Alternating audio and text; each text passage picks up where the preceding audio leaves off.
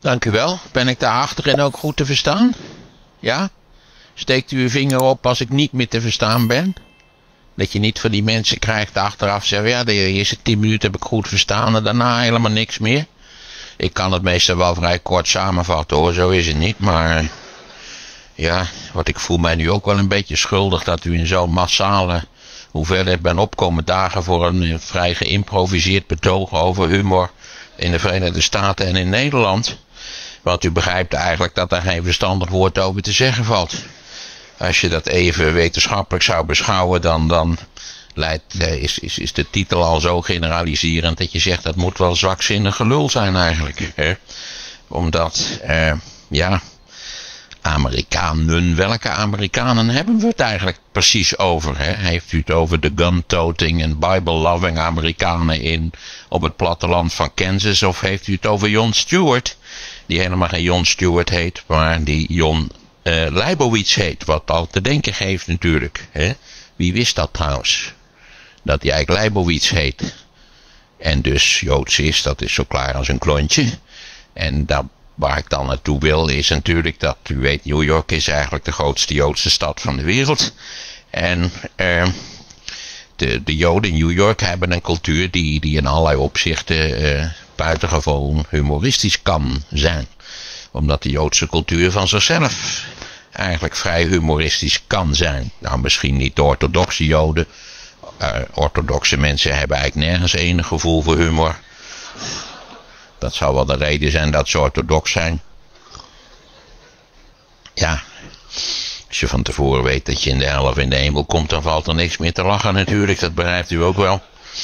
Uh, dus ja, kun je generaliseren over Amerikanen? Nee. Je hebt natuurlijk Amerika, de Verenigde Staten hebben een uiterst complexe, sterk geladen cultuur. Het is heel afhankelijk van de plek waar je bent en wat de lokale cultuur eigenlijk is. New York heeft in allerlei opzichten cultureel bar weinig te maken met dat enorme land wat, er, wat erachter ligt. Je hebt die fameuze tekening Waarbij je dan New York ziet en alle straten van Manhattan en daarachter het hele continent in sterk verkorte vorm. Dat is een beetje wat je in Nederland met de Randstad hebt en de rest. Ja, ik begrijp dat u dat iets minder geestig vindt, maar daar zit ik helemaal niet mee eerlijk gezegd. En wat voor de Verenigde Staten geldt, geldt natuurlijk in feite precies over Nederland. Ook dat is een complexe cultuur die, die ook in allerlei opzichten sociaal en cultureel gelaagd is. Uh, je hebt ontzettend veel Nederlanders bijvoorbeeld die de lama's leuk vinden. Nou, als u dat leuk vindt, dan kunt u beter nu meteen vertrekken, zou ik zeggen. En naar een oud YouTube-filmpje van de lama's gaan zitten kijken. Want dan zult u er verder weinig genoeg aan beleven. Hè? En, en u weet ook dat humor in allerlei opzichten gerelateerd is aan de leeftijd van de betrokken persoon. Eh, dus kinderen tot, ik weet niet precies tot welke, zou je ook weer wetenschappelijk moeten bestuderen. Maar kinderen die doen, eigenlijk hebben kinderen relatief weinig gevoel voor humor. Dat komt natuurlijk omdat uh, ze nog niet zoveel in een bovenkamer hebben zitten. Dat is punt 1. En punt 2 zitten ze natuurlijk nog in de anale fase. Zodat poep en pies voor hen eigenlijk de absolute hoogtepunten zijn van het humorvolle bestaan. Hè? En u weet dat ook heel veel volwassen Nederlanders nog steeds vinden dat een onverwachte scheet een van de meest komische momenten is die er zijn. Terwijl ik dat bijvoorbeeld helemaal niet leuk vind. zeg het er maar even bij. Zeker in deze zaal zou ik dat zeer beperkt houden. Want anders eh, sterft u misschien wel aan. Want u weet, heeft u wel eens gezien hoeveel hoeveel uh, luchtvervuiling het gevolg is van de scheten die ons vee laat. Wist u dat? Ja? Dat is echt gigantisch. Als we met die koeien op zouden houden, dan, dan wordt de lucht helemaal schoon. Ja, El Gore heeft zich nog eens tijdenlang bezig gehouden met het probleem van de luchtvervuiling door koeien. Daar ziet u dat je ook als vicepresident hele rare klusjes kunt krijgen. Um, nou ja, en dan heb je natuurlijk de fase van, van de, zeg maar, de puberale en de, en de adolescente humor. Nou ja, laten we zeggen, die, die, hoe heet het, die, die man van de wereld draait door, die een blik, leeg blikje naar beneden heeft gegooid. Hè. Gezien zijn leeftijd is het duidelijk dat er bij hem sprake is van een zekere regressie. Eh, maar dat is typisch puberale en adolescente humor. Studentenhumor, zal ik maar zeggen. Hè? Nou ja, u heeft allemaal wel eens met dat bijltje gehakt. Dat je na een bepaalde hoeveelheid alcohol heb je een heel ander gevoel voor humor. Dan voordat je die alcohol naar binnen hebt gewerkt over het algemeen. En eh, alcohol werkt slecht op het gevoel voor humor, laat ik het even zo zeggen. Er ontstaan vaak vormen van gewelddadigheid die niet op prijs hoeven te worden gesteld.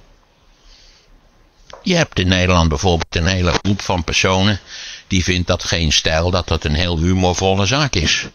Terwijl ik vind het niks. Ik vind het stomzinnig. Ik vind het onbeleefd. Ik vind het echt, echt, het is, dieper kan je eigenlijk niet zinken dan wanneer je ook wel eens zo'n commentaartje op geen stijl hebt geschreven.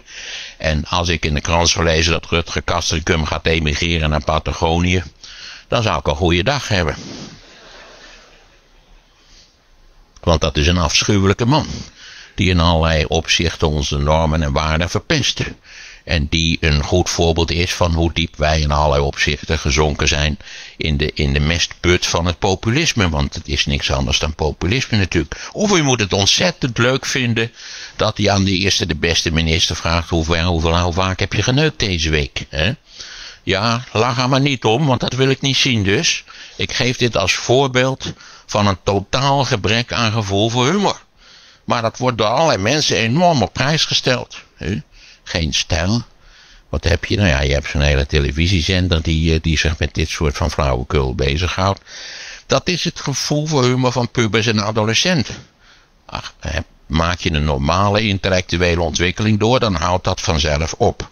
Dan heb je helemaal niet meer het gevoel. Hoewel, zou u op een verjaarspartijtje aan een wat oudere oom en tante vragen: En doen jullie het nog? Of uh, is de klad ingekomen? Zo te zien is de dynamiek heel erg weggezakt. Hè? Dat zou u toch niet doen? Ja, u gaat toch besmuikt zitten lachen. Maar dat zou u eigenlijk toch beter niet kunnen doen. Dus je hebt allerlei vormen van. En dat zijn waarschijnlijk brede volkstammen waar, waar, waar je helemaal geen idee hebt hoe stomzinnig een gevoel voor humor eigenlijk is. Dus het gaat er maar net om wat je definieert als uh, gevoel voor humor. Um, en ik weet niet, ik zou mijn eigen gevoel voor humor eigenlijk niet precies kunnen definiëren. Maar ik weet wel dat op allerlei plekken uh, dat gevoel voor humor niet op prijs wordt gesteld. U weet dat op de televisie dat ik doorga voor een mopperkont en een cynicus en ik weet al niet al van andere etiketten er op mij geplakt zijn, terwijl ik een, van nature een bijzonder vrolijk en optimistisch mens ben.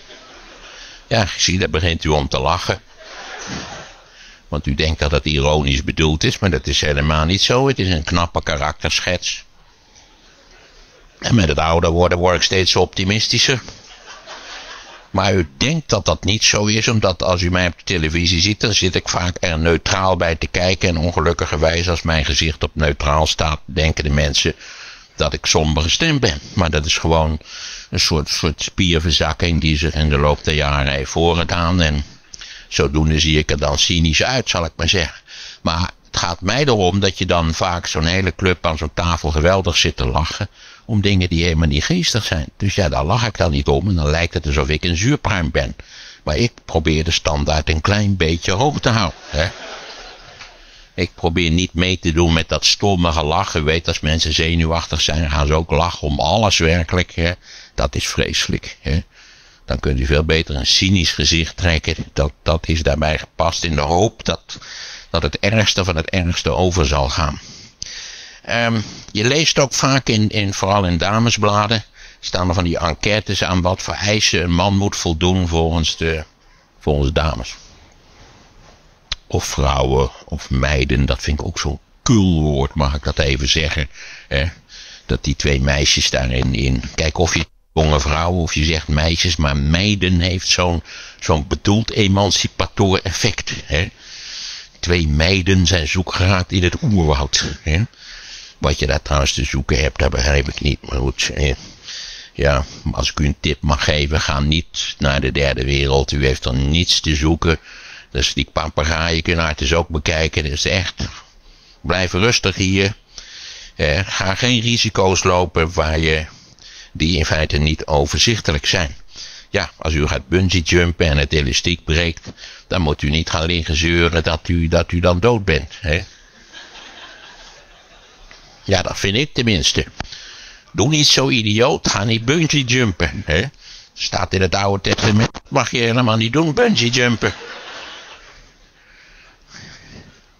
Ja, het oude testament is vrijwel alles verboden, dus dat, dit zal er ook wel ergens in staan. Op een of andere manier. Ja, je hebt ook van die lui die dan, als laatst weer zo'n gezin wat met twee hele kleine kinderen met een, met een bootje van Jan Doedel over de Stille Oceaan was gaan zeilen. Nou, je begrijpt wel hoe het afgelopen is en tegen een walvis aangevaren of zo en het bootje lag scheef in het water en dat gezin moest gered worden. Dan had ik zelf, als ik had moeten redden, had ik gezegd, oké, die twee baby's wil ik wel redden. Die hebben geen wilsbesluit genomen om, om over de stille oceaan te gaan zeilen, maar die ouders laat ik rustig verzuipen. Hè? Als leerrijk voorbeeld. Hè? Vindt u dat je daar gered moet worden? Als je zo idioot bent dat je een notendop over de stille oceaan gaat zeilen, kom je in de problemen, zou ik zeggen, ja, that's all in the game. Hè? Ja, jammer. Je had nog zo'n bejaarde die, sorry dat ik een tikkeltje afdwaal, maar dit is een favoriet thema van mij. Er was nog zo'n bejaarde man die ging ook geloof ik door de hele zuidelijke Indische Oceaan zeilen. Ook de hele wereld rond. Nou u begrijpt, hij raakte in de problemen. Maar was voorzien van alle moderne elektronische hulpmiddelen. Het bootje was gekapseist, hij zat eronder. En, en wist toch, toch de Australische marine te bereiken die hem gered heeft. En, en ik geloof dat de rekening liep in de orde van 75 miljoen Australische dollars. Dat je denkt, om nou daar een bejaarde voor te redden. Ja, u weet, er zijn keurige berekeningen wat een mensenleven zo'n beetje waard is. En nou, in Nederland is dat geloof ik ergens tussen de 60 en de 80.000 euro. Dus eh, je kunt er gewoon een tabelletje naar kijken. Valt hier nog, valt hier economisch verantwoord te redden? Nee, nou jammer. Ja. Ja, je moet ergens een grens trekken, toch? Ja, maar goed, ik had het over die damesbladen. En daar staat dan altijd in eh, dat, dat uh, wat vrouwen enorm op prijs stellen is humor. Maar mijn ervaring is dat dat helemaal niet waar is. En zonder nou uit de school te klappen, u moet het ook verder niet doorvertellen, maar mijn moeder bijvoorbeeld kon mijn humor totaal niet op prijs stellen. Hè? Die zijn nog wel een rotzak. Als ik iets, iets zei wat ik zelf enorm geestig vond, maar nee. En ik heb andere ervaringen, ik zal verder nou niemand gaan noemen, maar in het algemeen wordt humor helemaal niet bijzonder op prijs gesteld. En zeker niet wanneer mensen zich aangetast voelen. En nu komen we geleidelijk aan in de goede richting. In, in zaken, gevoelens, sentimenten, overtuigingen. Niet waar, die ze, die ze enorm te harte gaan. Zonder dat ze weten dat het bijna allemaal volstrekte nonsens is. Hè. En als je dan iemand hebt die daarop wijst. Hè, dat, ja, ja. Ik zou bijvoorbeeld kunnen proberen hoe, hoe lang ik kan doorgaan op bepaalde thema's voordat er hier mensen weg gaan lopen. Ik was vaak vrij trots op als ik een wegloopscène had, had gecreëerd. En het gekke is, het, het is mij in de tijd van Fortuin overkomen. Ook onder studenten die stond op, dat laat ik niet zeggen. Mijn pim laat ik niet beledigen, dat werk. Dat was eigenlijk de eerste keer dat ik realiseerde dat het hier ging om een semi-religieus verschijnsel. dat het niets te maken had met de inhoudelijke ideeën van Pim Fortuyn trouwens, die kunnen ook eigenlijk nauwelijks als zodanig worden beschreven. Dat was een, een, een, dat was een ongeregeld eigenlijk, wat in zijn, in zijn hoofd eh, bij elkaar was gevallen uit een defecte systeemkast. Ik weet niet hoe je het het beste zou kunnen beschrijven. Maar het was een compleet warhoofd in feite. Ja, lees u die boekjes maar eens, dat deed niemand toen. Hè? Nee, het was de kale Messias, dat was het. Hè? Het was iemand die, die ons ging redden. De, het was de ene die ons, ons op een of andere manier een boodschap bracht van boven. Dat dacht hij zelf ook. Dat is op zichzelf natuurlijk al een indicatie. Dat we hem heel wat beter in een TBS-kliniek hadden opsluiten, kunnen sluiten. Want dan was hij ook niet doodgeschoten. Um, ja, God, dat u dat allemaal nog wel humorvol vindt. Dat is toch mooi eigenlijk, hè? Um, ja, zo, zo die kant moet het op als we straks moeten verklaren waarom sommige dingen wel leuk zijn voor sommige mensen, maar weer niet zo leuk zijn voor andere mensen. En laat ik beginnen met die anekdote, want dat was een van de eerste keren dat ik in Amerika opliep tegen het verschijnsel dat wat ik erg leuk vond, dat de Amerikanen dat helemaal niet leuk vonden. En dat was bij gelegenheid, ik heb het al eerder verteld, van de eerste Challenger die verongelukte. De eerste, uh, hoe heet het, hoe heet het? Space Shuttle. Ja, ja, het was eigenlijk nauwelijks een Space Shuttle, hè, want hij vloog een zo lage baan dat het nog een wonder is dat hij niet hoefde te stoppen voor stoplichten. Eh, ja, het was eigenlijk een totale mislukking, die Space Shuttle. Hè. Kan daar nou niet op doorgaan en misschien niet verstaan. Die hele, hele ruimtevaart is pure flauwekul. Wij zijn niet gemaakt voor ruimtevaart. Wij zijn in feite een zak vol water. U bestaat voor 70% uit water. En bovendien bent u ontworpen voor een, een, een zwaartekracht van 1G. Dus dan moet je niet.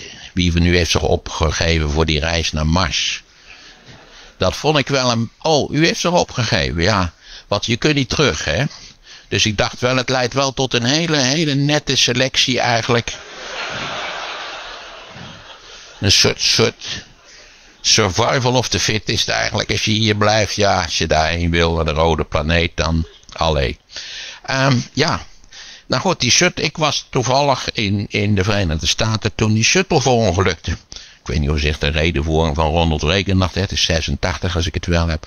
Ronald Reagan die kwam op televisie en nou iedereen was, was behuild en het was iets verschrikkelijks en het waren helden en ze hadden zich opgeofferd voor de totale mensheid en ja, dat had een anderhalve dag had dat gezwets geduurd. En toen dacht ik, dit is te gek voor woorden. Dus toen zei ik in betrekkelijk kleine kring, zei van nou, het is inderdaad wel jammer van die mensen, maar ik vond die rookeffecten toch bijzonder artistiek.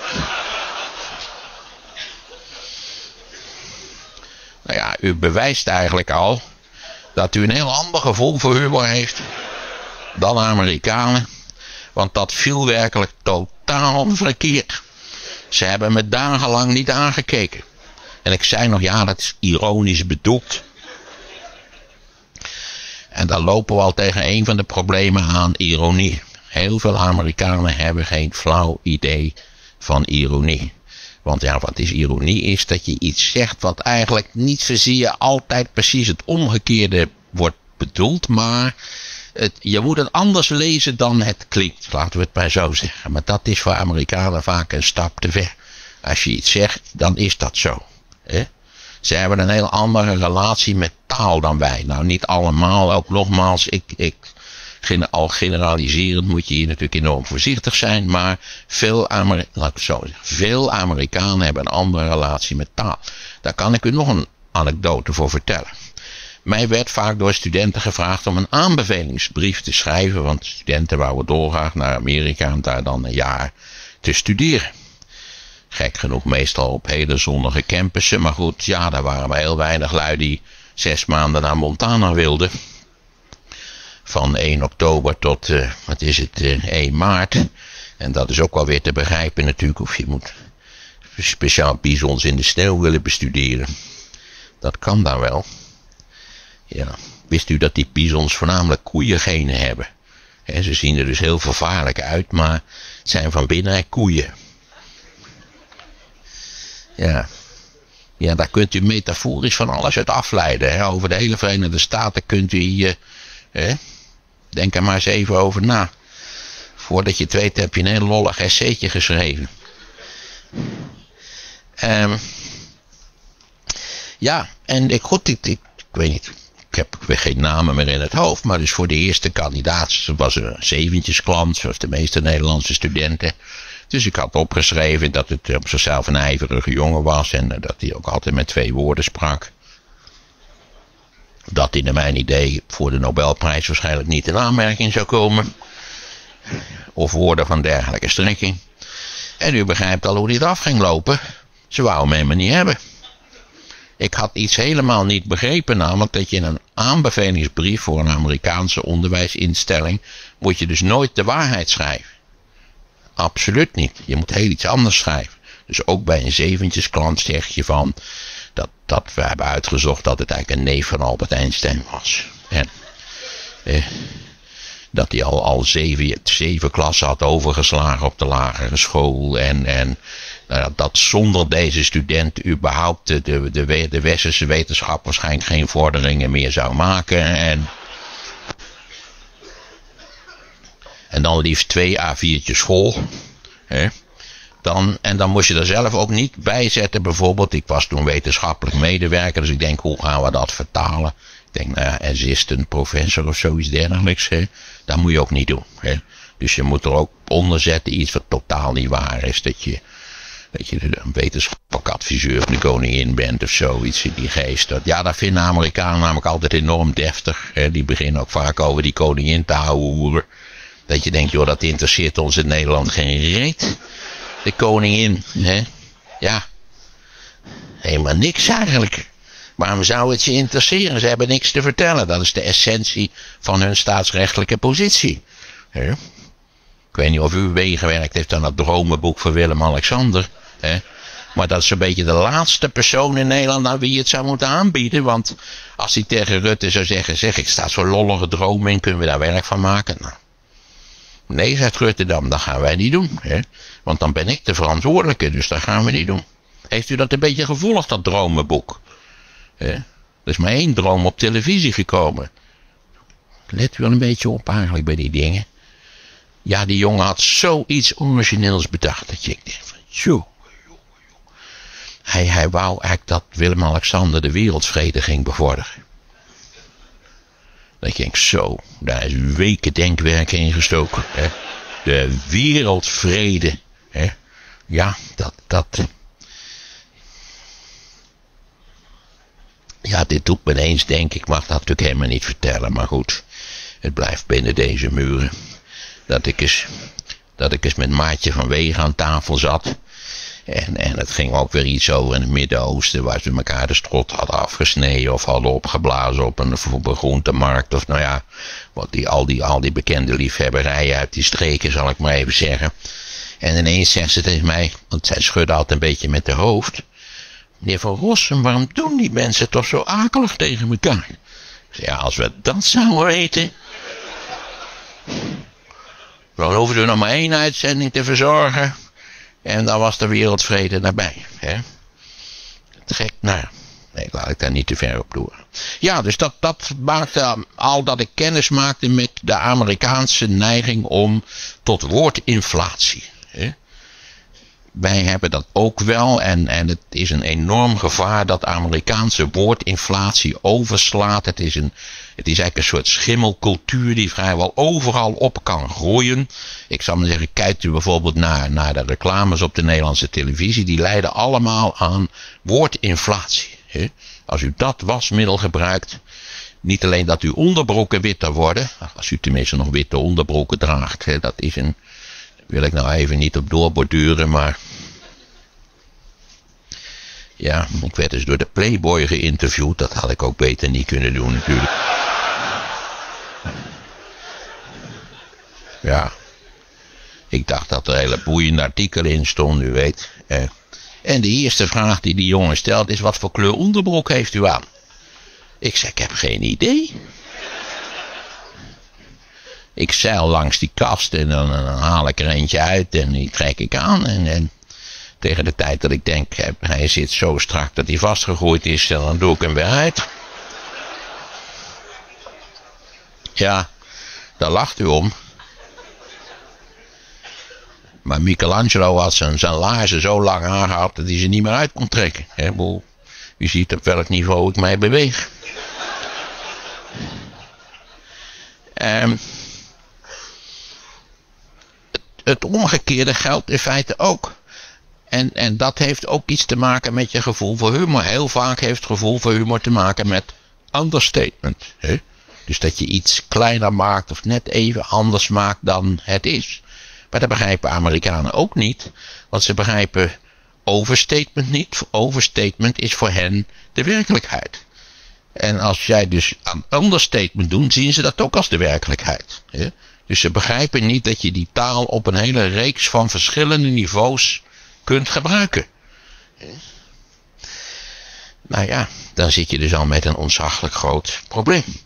Ik denk dat een van de grote problemen ook van u weet dat lang niet alle Nederlanders hebben hetzelfde gevoel voor humor. Wat ik nu bijvoorbeeld voor, over Beatrix zei. Er zijn heel veel Nederlanders die dat heel, heel kwalijk vinden. Die dan vaak ook na de lezing nog even tegen je komen zeggen ze kunnen niks terugdoen. Nou vind ik dat een betrekkelijk klein offer bij dat salaris. En ik weet niet of u gezien heeft wat voor nieuwe Audi Willem-Alexander heeft aangeschaft. Hè? Hij hoeft ook echt niks terug te doen. En zijn vrouw houdt hem wel op de rails. Ja, dat is de enige die er volgens mij echt aardigheid in heeft. Hè? Ja, omdat ze niet als zodanig geboren is. Dat is natuurlijk de hele crux van de zaak. Word je geboren in die club, dan weet je wat je te wachten staat. Hè? Maar, maar kom je van buiten als burgermeisje, zoals dat zo treffend heet. Dat is ook waarom, al die bladen Maxima zo enorm fantastisch vinden. Zij is een burgermeisje wat prinsesje is geworden. Hè? En dat is wat alle burgermeisjes eigenlijk willen. Prinsesje worden. Hè? Denk aan Laurentien Brinkhorst. Hè? Ja. Als het veulentje maar gezond is. Um, ja, ik zie dat u die verwijzing niet helemaal kunt volgen, maar ze was zwanger geraakt en doen. Um, en u weet dat vrijwel alle kinderen, alle meisjes, hebben een prinsesjesfase in, in hun jeugd. Hè? Ik weet niet, nee? Oh. Wie heeft geen prinsesjesfase gehad? Oh, wie heeft er wel een prinsesjesfase gehad? U. Oh, daar ziet u ook wel naar uit.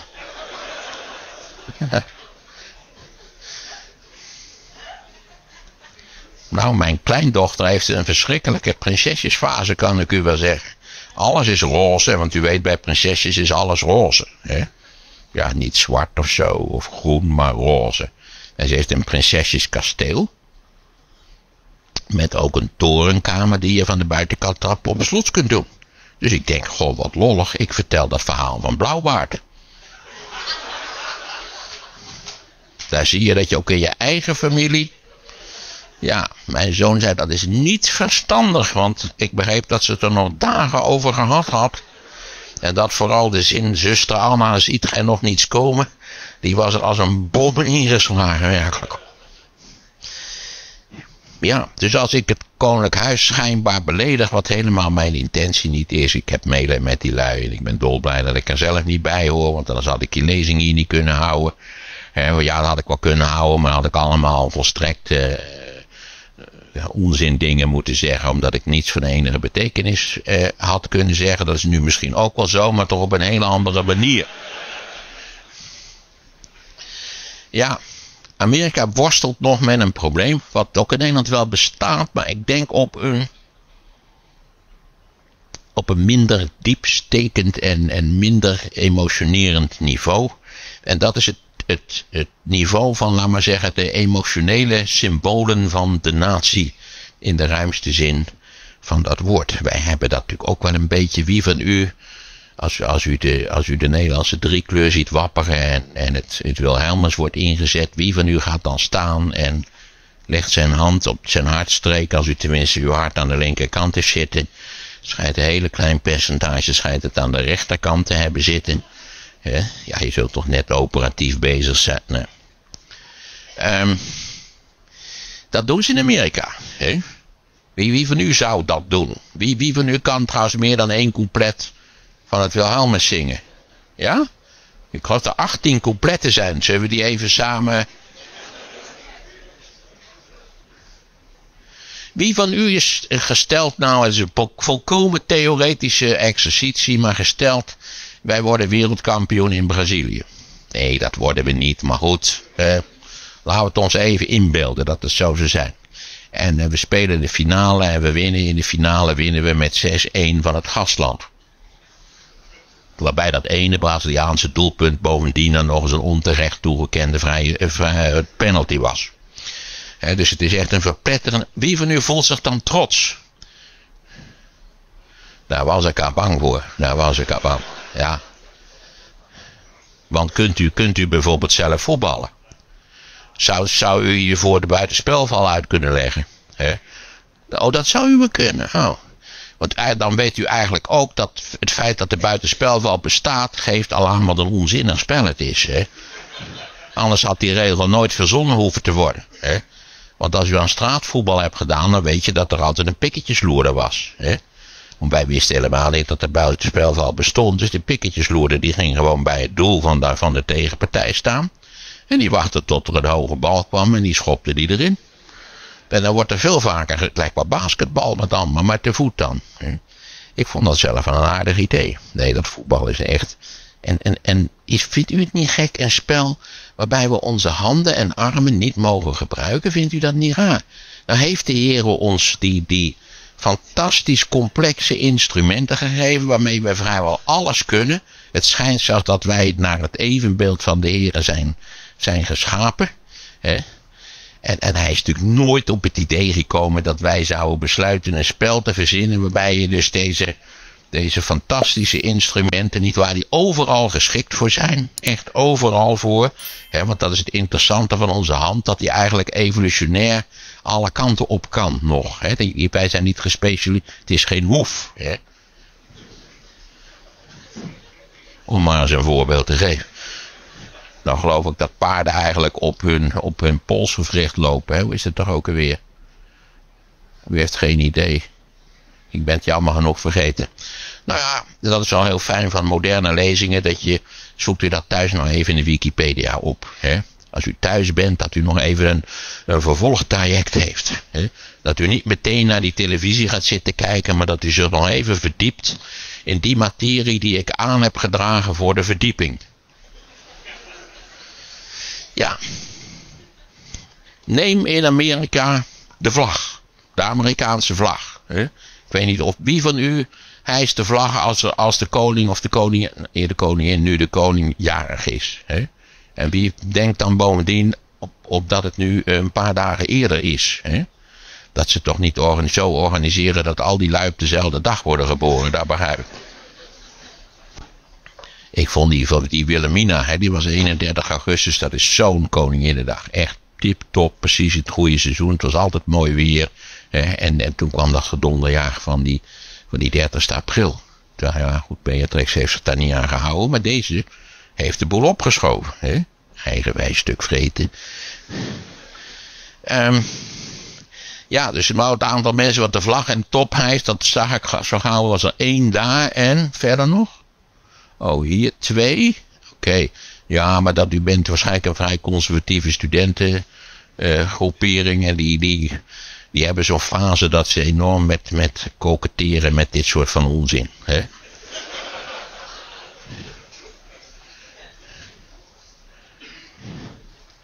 Ja. Ja, ik bedoel, ik durf het hier wat te zeggen. Ik ben lid geweest van het Utrecht Studentenkoor. En daar was het ook een soort ziekte eigenlijk. Hè? Moest voortdurend moest je ook liederen zingen. Eh, hè? Vlaams nationalistische liederen en zo. Dat je denkt, waar ben ik hier terecht gekomen? Hè? Dat was lang voor, voor Geert Wilders, kan ik u wel zeggen. Hè? Ja, ze hielden nog eens, ze hielden nog eens verkiezingen in de sociëteit. En het is eigenlijk alleen interessant voor de oudjes onder ons. Maar heel, heel lang geleden was er een soort ultra-nieuw rechtse partij. Die werd geleid door de ridder van Rappard. Wie herinnert zich nog de ridder van Rappard? Nou ja, op een of andere manier, ik wil helemaal niet, niet, niet subjectief spreken of zo, maar toch heel veel mensen ter ultra-rechterzijde maken de indruk dat er, nou, dat een contactje los is, zal ik maar zeggen, in de bovenkamer.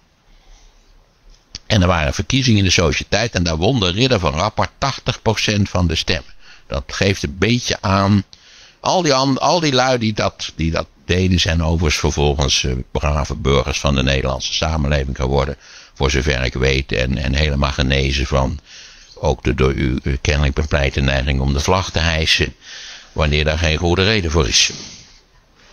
Ja, de vlag in Amerika is een zaak van, van immens gewicht. Die vlag die, die is in feite in allerlei opzichten de, de, de verpersoonlijk, de concretisering van de natie zal u toch wel eens opgevallen zijn als een Amerikaanse politicus iets bekend gaat maken, wat het dan ook maar is, dan zijn er achter hem altijd een hele reeks van vlaggen te zien in speciale standaarden.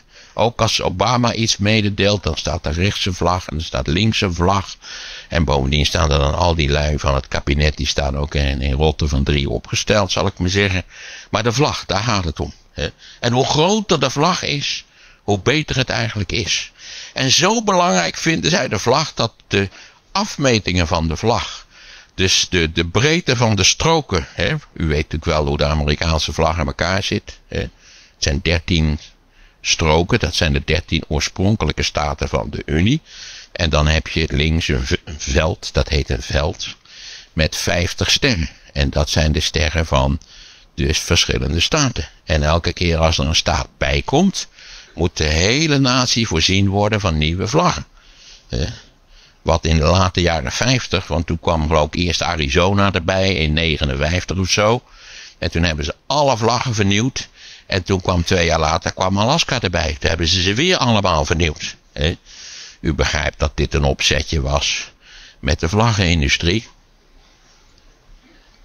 En niet alleen zijn de afmetingen van die vlag zeer nauwkeurig gespecificeerd, maar er is een hele vlaggenwet. Zoek dat ook straks even op in de Wikipedia. Er is een hele vlaggenwet. Waar mag bijvoorbeeld de vlag wapperen ook als de zon onder is gegaan. Normaal gesproken moet je de vlag, hè, als u de vlag, als u vlagt voor Willem-Alexander, hoort u maximaal een kwartier na zonsondergang, dat kunt u overigens op een heel leuk tabelletje ook op het internet vinden, moet u wel zorgen dat die vlag weg is. Hang, hangt dat ding daar te flapperen, niet waar, met bierlucht eraan, tot, tot diep in de nacht, dan, dan bent u eigenlijk bekeurenswaardig. Hè? Heeft, weet iemand waar de Amerikaanse vlag mag waaien ook nadat de zon is ondergegaan? Op de maan, ja, dat is wel vrij geestig. Alleen heb ik daar wel een paar aantekeningen bij. Ten eerste zei ik, ik had het woord wapperen nam ik in de mond en eh, althans de laatste keer dat we die zaak gecontroleerd hebben, wapperde hij niet. Sterker nog, ik geloof dat Buzz Aldrin die, die rondtrok met lezingen vertelde dat dat, dat materiaal desintegreert. En, en dat, dat er eigenlijk niet zo verschrikkelijk veel van overgebleven is voor zover, voor zover we dat weten. Is het overigens niet, niet aandoenlijk en eigenlijk compleet half gaar dat je dus naar de maan gaat met een Saturnus 5 raket en een maanlandertje en een ding wat daar weer vanaf kan komen. En dat dan een van de belangrijkste dingen die je hebt meegenomen is een uitvouwbaar vlaggetje. He? Dat is toch totaal onbegrijpelijk dat je dat doet. Hè? Ik moet nemen een fototoestel mee of weet ik veel wat je meeneemt, maar een uitvouwbaar vlaggetje. Hè? Nou ja, die marsreiziger die daarboven zit, gaat heeft u ook al een, een vlaggetje ingepakt? En is er al onderlinge overeenstemming over wat voor vlaggen we daar dan, nou ja, laten wapperen. Dat schijnt daar wel iets meer damkring te zijn dan op de maan natuurlijk, maar echt wapperen, dat is, dat is Mars toch ook weer niet. Doet u dan de Europese vlag of doet u de... We hebben eigenlijk geen wereldvlag, hè? De Twentse vlag. Oké. Ik moet u zeggen, ik wist niet dat er een Twentse vlag was. Wat staat erop? Een hele grote T of zo. Of waarschijnlijk de omtrekken van dat fantastische eh, Europese vliegveld wat u hier gaat aanleggen. Ja,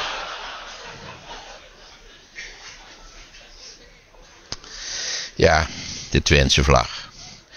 Nou ja, dat is wel lollig. Dat, dat er ook een soort regionale trots is. Je moet ergens trots op zijn. Hè? En, en dan ja, kom je toevallig in zo'n regio terecht. Hè? Het kan, het kan. Maar de vlag kun je dus op allerlei manieren beledigen. Ik had u nog een vraag gesteld, maar kennelijk weet u toch het antwoord niet. Wat, hè? Nee, daar moeten ze volgens mij wel eh, naar beneden halen. Maar ik dacht op het Capitool, hè, boven Columbia. Daar staat zo'n vrouwenfiguur. Ja, dat zie je uit de verte niet, maar ze heet Columbia. Dus ik ga er even vanuit dat het een vrouwenfiguur is. Eh, de zuster van Columbus, dat zult u begrijpen. Eh, daar mag hij delen. En er is nog een tweede plek waar dat mag. Nou, op zee. Ja, u begint een beetje warm te worden. Op het eilandje Hiroshima. Kent u niet die fameuze foto waarbij die zes soldaten bezig zijn om op Hiroshima waar dan geloof ik al 3000 mariniers gesneuveld zijn of zo, om die vlag overeind te zetten. En van die zes, vijf vlag overeindzetters zijn er de komende dag daarna nog een keer twee of drie gesneuveld. Er zijn er geloof ik maar twee overgebleven, die hebben ze ook naar Amerika gehaald. En nou ja, die, die, die werden helden en die raakten aan de drank en daar is het heel slecht mee afgelopen. Ja, een van de dingen die u tot elke prijs moet zien te vermijden in de loop van uw leven is dat u een held wordt. Want of u bent dood als u een held wordt, hè, eh, of u gaat er vanzelf aan dood, aan het, aan het heldendom. Ja, de Amerikanen nemen hun vlag enorm serieus, dus je kunt die vlag ook beledigen. Heeft u zich nooit afgevraagd waarom Amerikanen zich enorm opwinden en dan hun vlag gaan verbranden? Heeft u ooit gehoord van iemand die op het Binnenhof de Nederlandse vlag verbrand heeft? Ik niet. Heeft iemand wel eens de intentie van ik ga hem en dan erop gaan trappen en zo. U kent dat wel, we kennen. Dat gebeurt alleen maar door de enorme symbolische gewicht wat die vlag heeft. En u moet dus ook enorm oppassen dat u altijd als de vlag in de buurt is of als die vlag op enige wijze een plechtigheid markeert, dat u er een beetje, beetje rond bij gaat staan en dat u eraan denkt om de hand op het hart te houden wanneer het Amerikaanse volkslied klinkt.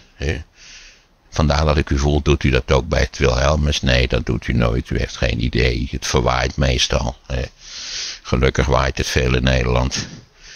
Um, en dat geldt eigenlijk voor alle symbolen die die natie betreffen. Het geldt zelfs de hele natie als zodanig. Als Amerikanen ergens slecht tegen kunnen, is wanneer je die natie bekritiseert. En vooral als die bekritiseerd wordt door buitenlanders. Dat, dat vinden ze het aller, allerergste. Dus ik vertelde u van één wegloper omdat ik Fortuin had beledigd. Nou ja, ik had een vrij, vrij reële beschrijving gegeven van zijn talenten en invloed. En ja, misschien wilt u ook nog het tweede incident horen, want dat, daar liepen elf mensen weg. Elf. En het is een leuk thema eigenlijk. Ik weet niet hoe het er ook zo op kwam. Het was de Vereniging voor, voor uh, Maatschappijgeschiedenis. En ik had me niet gerealiseerd dat die vereniging voor alle gezinten was. Ik dacht dat het een seculariseerd gezelschap was. En, en ik weet niet hoe het zo kwam, maar ik kwam over de hemel te spreken. En hoe het daar is. Dus ik. Uh, maar ik legde uit hoe het naar mijn idee zou moeten zijn, omdat als het dan niet zo was, dat het daar niet om uit te houden zou zijn. Hè, behalve eigenlijk in mijn scenario. Want ik, ik vroeg ook zo retorisch, u weet een retorische vraag is een vraag die de spreker stelt, maar waarop die liever geen antwoord heeft. Dus ik vroeg retorisch, moeten we dat dan een miljard jaar zingen? In, in witte jurken, hè? met zo'n touw om het middel en, en van die slecht zittende sandalen. Hè? Ja, ik, ik, het was maar speculatie. En toen zei ik, nou, stel voor dat je hebt er een miljard jaar gezongen. Dat is uh, duizend miljoen jaar. Duizend miljoen jaar, ik zeg het er maar even bij. Uh, ja, mijn studenten begrepen nooit het verschil tussen een miljoen en een miljard. Dan zei ze, wat doet dat dat doet? Nou, dat scheelt enorm als u naar de kruidenier gaat, die op een halve kilometer afstand is, dan is dat nog wel te doen. Maar als die duizendvoudig, eh, dan is het 500 kilometer reizen voordat je er bent. Hè? Daar keken ze dan toch wel van op eigenlijk. Dat dat zo was. Zo. Factor duizend, Jamie, nee. Ja. Ik nou, u heeft een miljard jaar gezongen, psalmen. Dan enkeling zal daar plezier in hebben gehad. Ja, dan, ik wil nog wel een miljard jaar zingen, waar not? Want toch bezig zijn. Maar u heeft een beetje genoeg ervan gekregen. Ik wil nou eens een stukje lezen. Hè? Of, of, of u zegt van nou, ik heb altijd willen leren figuur zagen. Hè? Of, of uh, hoe is het met mijn postzegelcollectie? Nou ja. En dan loopt u tegen een probleem aan. Het, het is eeuwig. Het is forever. Voor altijd. Het is niet 1 miljard jaar. Het is ook niet 100 miljard jaar. Het is uh, voor eeuwig. Stelt u zich dat eens voor. Hè? Hoe groot moet de verveling zijn? Ja, precies. U begint al te gapen bij het idee alleen al. Hè? Ga er even uit dat ik het niet ben. Ja, het eeuwige leven. Is er eigenlijk één wens infantieler en stomzinniger dan het eeuwige leven? Ja, je ziet, die blijft allemaal zitten. Dus. Ja, ik was zo door, een beetje door. En toen, toen bleek het dat er meerdere orthodox-christelijke uh, leden van die vereniging waren. Die zijn allemaal opgestapt. En in plaats van dat ze door de achterdeur en de achterzaal weggingen, maar dat deden ze niet. Ze kwamen naar mij toe gemarcheerd. Tot ze heel dichtbij waren. En dan zeiden ze, schande. Schande.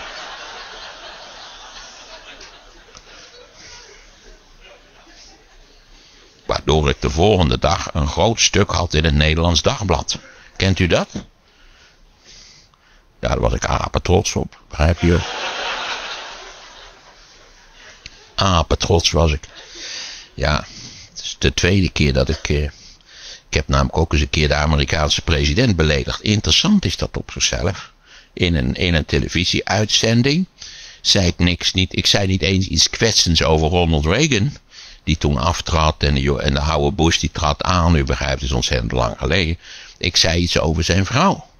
Want Charles Groenhuizen, die daar toen nog correspondent was, die zei, daar komt eh, Nancy Reagan aan. Eh, wat eh, ziet zij daar koninklijk uit? En ik dacht, wat is dat nou voor onzin? Zo'n strak getrokken vrouwtje.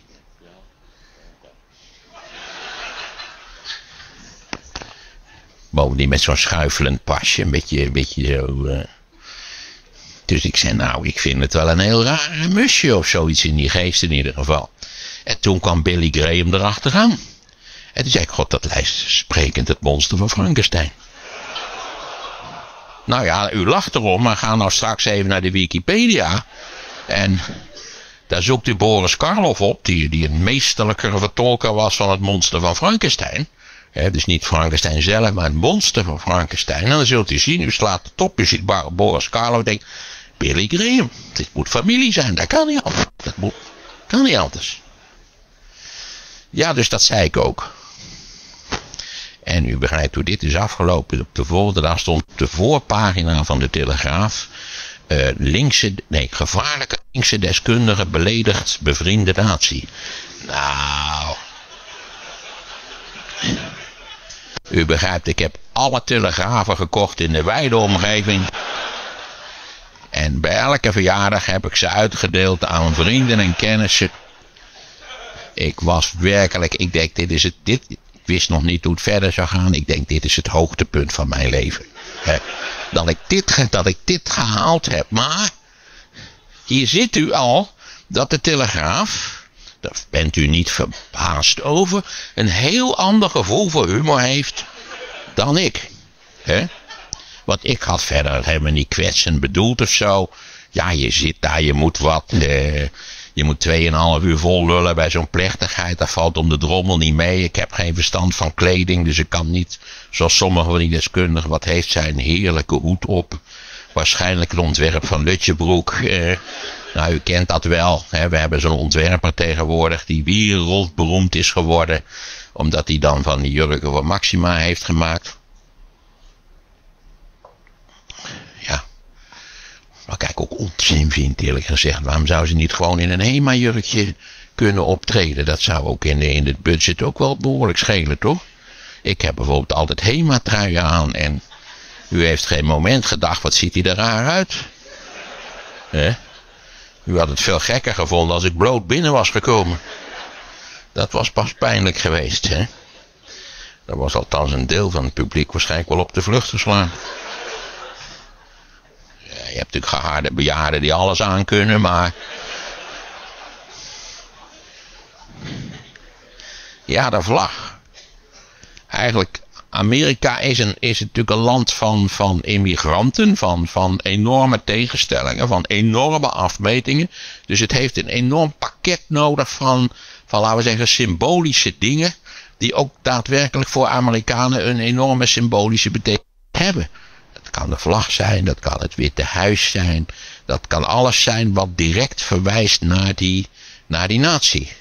En als je daar dus iets over zegt op een enigszins komische toon, dan dan is dat voor, door de Amerikanen als zeer onaangenaam ervaren. ik weet niet hoe dat in Nederland. In Nederland heb je natuurlijk ook een hele brede brigade van mensen dat je niet, je mag niet kritisch of geestig over het Koninklijk Huis zijn, want dat is toch voor sommigen een symbool van onze natie. Ja, ik eerlijk gezegd is dat natuurlijk Flauwekul. Hè. Dat is gewoon een kapitale vergissing geweest van Van Hogendorp. Die dacht, dat, die dacht dat hij Willem I wel kon sturen, maar dat bleek een van de meest eigenwijze rekels te zijn die maar vindbaar waren. Willem I had ook zijn betere eigenschappen, maar toch voornamelijk slechte eigenschappen. En in no time eh, heeft Van Hogendorp spijt als haren op zijn hoofd dat wij dus een, een erfelijk koningschap hebben gekregen. Bovendien een erfelijk koningschap waarbij de koning een zeer omvangrijke autoriteit heeft. Maar voor veel mensen is dat eigenlijk wel een, wel een lollig idee. Weet u bijvoorbeeld, dat is wel interessant om te weten, dat ik weet niet hoe het bij de, bij de, bij de, van eh, Willem-Alexander, daar hebben we natuurlijk pas eentje van gehad. Hè? Vond u dat hij het lollig voorlas? Hè? Dat was toen ook nog een hot item in de, in de talkshows. Heeft hij het goed voorgelezen, ja of nee? Beter dan zijn moeder. Nou ja, ik, gezien zijn gaven viel het me mee.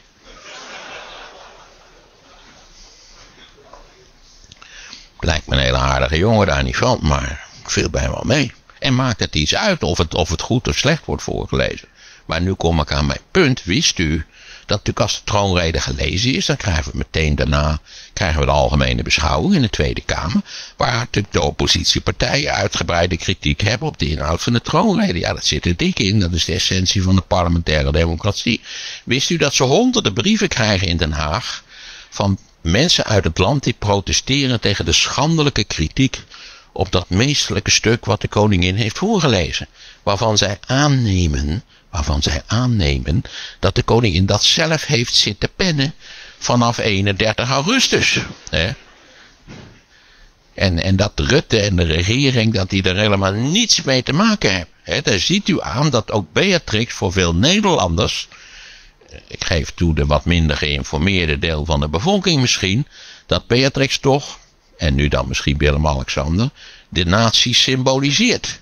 Ik zou niet precies weten wat ik vind dat een natie. Heeft u het gevoel. Als u. Oh nee, doet u wel eens dat spel. Als u uit België weer Nederland binnenkomt rijden. Dat, dat, dat uh, het familielid wat het eerst ziet dat we in Nederland zijn. dat die een pepermuntje krijgt. Ja, even. worden hangt er een beetje vanaf hoe oud de kleintjes zijn. Want waar zie je aan dat je in Nederland bent? Wanneer We zijn in Nederland. En, en... Wat? Nee, wat je ziet al, als, als u dan, ik zie wel dat u nooit uit België en oplettend Nederland bent binnengereden. Wat ja, u ziet het aan, aan, de, aan de bordjes. Hè? U ziet het aan de, aan de huisjes langs de weg. Je hebt Belgische huisjes meestal vrij bouwvallige huisjes. En, en dan heb je Nederlandse huisjes. Dat zijn hele nette huisjes die geheel volgens alle gemeentelijke voorschriften in elkaar geknutseld zijn. En nu komt het eigenlijk als u dan plotseling beseft dat u weer terug bent in het vaderland. Geeft dat dan een prettig gevoel? Denk eindelijk weet ik weer hoe de benzinepompen werken en, en eh, de betaalautomaten en al die andere rommel die, die, die volkomen vanzelfsprekend tot het, tot het dagelijks leven hoort. Terwijl je in Parijs bij zo'n bij zo'n ATM hebt gestaan, zo'n zo'n zo'n zo flappentapper. Eh, eh, om, en daar vormt zich een lange, lange rij, omdat je dacht, nou ik ben hier toch, ik, ik pin eh, 500 euro. Dat kan niet. Dus je denkt, nou oké, dan pin ik 250 euro. Meestal toch het maximum wat je kunt pinnen in Nederland. Maar hij weigert dienst en ondertussen vormt zich achter jou een rij van morgende Fransen. Nou, geen Franse Parijzenaars. Want u weet, Fransen zijn door en door sympathieke mensen. Maar Parijzenaars zijn vuile fascisten tot de laatste man. Dat, dat, is, uh, dat is algemeen bekend. Hè? En tenslotte blijkt dat je maar 135 euro of zo kunt, uit die machine kunt halen. Is u dat nooit overkomen? Nee, eigenaardig. Komt u wel eens in Parijs of... Uh... Ik zwijg nog van die Amerikaanse ATM's waar als je met je Nederlandse pinpas uh, de geld uithaalt, dan blijkt dat je 5 dollar kosten moet betalen. Hoe zou u het vinden als u bij elke keer dat u, dat u flappen tapt, dat u 5, 5 euro kosten zou moeten betalen? He? Daar ziet u aan wat een oplichtersbende eigenlijk de hele Verenigde Staten zijn. In allerlei opzichten. Maar ze hebben dus veel meer symbolische dingen waar je kwetsend over kunt praten. En dat betekent natuurlijk dat je enorm voorzichtig moet zijn in. Maar wat mij ook opviel, ik heb een hoop Amerikaanse familieleden. En die bezoeken kijk met wel met enige regelmaat. Maar er is een bepaald soort van scherpte, zo u wilt, humor. Eh, wat ze niet prettig vinden. Ze eigenlijk ook het. Je, je kunt ook in Amerika zo. Ja, alleen de ouderen weten nog. Als je in de jaren 50 aan je ouders vroeg. Eh, wat hebben jullie gestemd? Ik, ja, interessant om te weten. Wat stemmen die lui eigenlijk precies? Eh, dat ze dan zeiden, dat vertellen we later wel eens. Hoezo? Waar ligt dan de kritische leeftijd? Dat je... Eh, heel vreemd. Dat was eigenlijk net alsof je vroeg hoe vaak doe. Een beetje of je Rutger Kastrikum was. Hè? Dat, ik heb dat altijd enorm raar gevonden. En het wonderlijke is dat in een land als Amerika, waar zo intensief vaak politiek gedebatteerd wordt over allerlei zaken, en zeker in de aanloop naar het presidentschap natuurlijk, eh, dat mensen het in, in, de, in, de, in de gezinskring of in de kennissenkring of de familiekring not dan vinden om over politiek te praten. Hoe was dat bij u? Kon je bij u thuis over. Wie kon thuis lekker fel keer gaan over de. Want er is altijd wel een gezinslid wat, wat dan zijn kont tegen de krip gegooid heeft. En eh, in een PvdA-familie VVD is gaan stemmen. Gewoon om te jennen natuurlijk. Maar, maar je kunt je daar wel iets bij voorstellen. En, en kan dat dan? Kun je, kun je daar dan serieus. Kun je ook grappen maken over Samson? Ja, die, die is daarvoor geknipt natuurlijk. Nou ja, iets te intensief geknipt. Eh, ja. Die zou, eh, die zou een hele Basje en Adriaan weer nieuw leven kunnen inblazen. Terwijl ja, ik ben zelf van die partij. U ziet, ik ben heel vrij in mijn opvattingen te zaken. Hè. En ach ja, die leiders gaan toch nooit zo verschrikkelijk lang mee. Dus, eh, eh? Wat kun je nog eens meer beleven? Ja, want ook vaak in Nederland, laten we even terug switchen. Want we hebben natuurlijk ook dingen die gevoelig liggen in Nederland. Hè? Ik weet niet precies wat in Nederland het gevoeligst ligt. Maar misschien ook wel kritiek. Nee, dat is het ook niet. Johan Cruijff, wat dacht u daarvan? Hè? Een van de grootste warhoofden die de Nederlandse geschiedenis heeft opgeleverd. Echt een totale maloot. Dat zult u toch wel met me eens zijn. Dan is altijd wel iemand die zegt, maar hij kon wel goed voetballen. Ja, dat geef ik grif toe. He, heel wat beter dan ik in ieder geval. Maar vrijwel alle andere dingen kan ik weer veel beter dan Johan Cruijff. Terwijl hij dat zelf niet lijkt te beseffen. Daar gaat het om. Hè? Want hij is er vast van overtuigd dat wat hij maar ook zegt over welk onderwerp dan maar ook. Maar Cruijff is wel een soort moderne heilige. Hè? En dat is een interessante ontwikkeling, ook in de politiek. Neem de huidige Amerikaanse president Obama, daar mag je in rechtsgezelschap in Amerika echt alles over zeggen wat je wil. Dat het helemaal geen Amerikaan is, dat hij geboren is de heuvels van Kenia, terwijl zijn, grootmoeder met alleen een rieten rokje aan rond het kampvuur danste. En, en dat mag u allemaal beweren, dat is geen enkel probleem. Maar de interessante vraag is, hoe zal dat over want er komt een fase waarin de politicus als het ware onthecht raakt van zijn, van zijn contemporaine achtergrond en geleidelijk aan de status van, van held krijgt. Kunt u daar, ja, Kennedy, wat dacht u van Kennedy? Wie van u is een bewonderaar van Kennedy? Oh, u wist zeker al dat ik daar niks van hebben moet.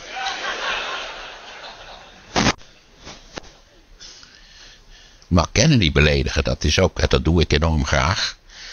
Dat is natuurlijk een, president van niks werkelijk. Een man die, die, die belachelijke veiligheidsrisico's heeft genomen door, door met de raarste juffrouwen iets, iets te ondernemen.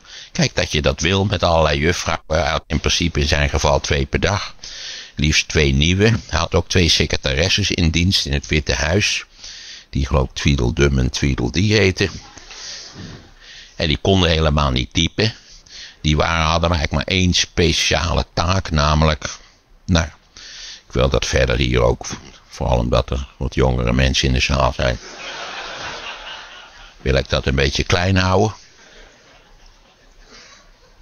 Maar hij deed ook met een Oost-Duitse spion. Hij deed met de vriendin van Sam Giancana, de, maffiabaas in, in, in de Verenigde Staten. Toen is Herbert Hoover, eh, sorry niet Herbert, J. Edgar Hoover, naar de president toe gegaan en zei, als je daarmee doorgaat, dan hangt het aan de grote klok. Toen is hij ermee gestopt, dat wel. Eigenlijk kende zijn, zijn begeerte kende geen grenzen. Ja, dat klinkt ook een beetje orthodox christelijk, hè, of niet? Nou ja, laat ik het dan anders zeggen. Ik heb hier alle begrip voor, maar word daar geen president. Hè? Dat was een beetje ook mijn probleem met Bill Clinton. Hè? Dat, je, dat je toch op die leeftijd daar, met, met, die, met die licht hysterische dame. Ja, ik geef toe dat ik zal, zal alle details, ik wou over die, die sigaar en dat cellofaan beginnen, maar dat is niet verstandig. Ik had me niet gerealiseerd dat er ook een een, een hele brigade van jeugdige enthousiastelingen aanwezig zou zijn. Dus ik, ik hou het klein, maar hij gedroeg zich op een totaal, totaal onverantwoorde manier. U hoeft maar een kwartier over Kennedy te lezen en u dankt de heren voor Mark Rutte. Hè?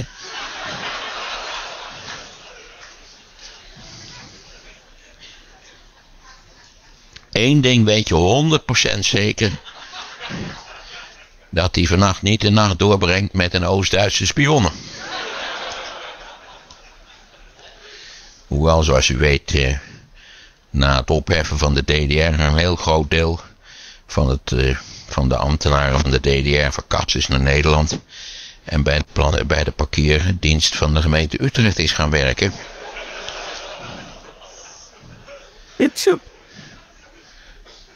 Waar ze hun technieken nog nader aangescherpt hebben.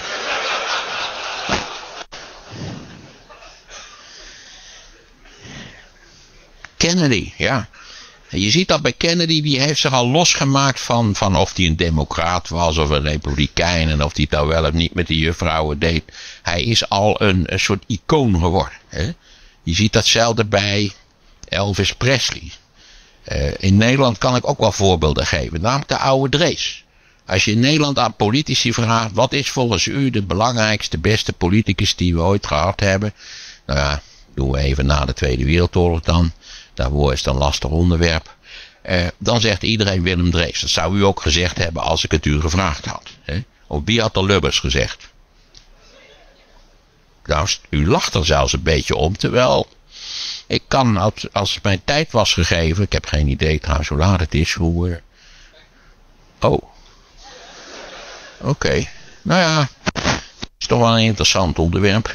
Uh, sommige mensen die Willem Drees bijvoorbeeld was een geharnaste sociaaldemocraat. En, en zeker ook in verkiezingstijd eh, kon hij over het socialisme bevlogen tekeer. Nou, voor zover hij bevlogen was natuurlijk. Het was een zeer bedachtzaam sprekende. En je denkt, heeft u nooit dat gevoel, wat ik vooral de laatste jaren heb, nu wat ouder begin te worden, is het wel verstandig dat wij het land laten runnen door van die stoere veertigers. Hè? Hoe komen we aan dit halfgare kabinet? Dat hebben Samson en, en Rutte een beetje, een beetje spierballerig in elkaar gezet samen. Hè? Kijk, ons is een vier kabinetje klaar. Hè? En toen hebben ze een heel jaar rondgebroddeld omdat ze vergeten hadden dat ze geen meerderheid in de Eerste Kamer hadden. Hè? En ze zijn meedogenloos afgestraft voor het feit dat ze nu drie van die gedoogpartijtjes erbij moeten hebben. Hè? En dat de SGP alweer weer de winkelsluiting uh, voor het grootste deel van de week bepleit. Ja, want hij heeft wel gezegd van de staai dat er moet wel rekening gehouden worden met zijn ideologische uitgangspunten. Nou, ik weet niet of u ooit het Oude Testament heeft gelezen. Dat kan ik ook wel beledigend pakken, hè. Wat een boek is dat, zeg. Het fundament, een van de, van de fundamenten van onze westerse christelijke cultuur.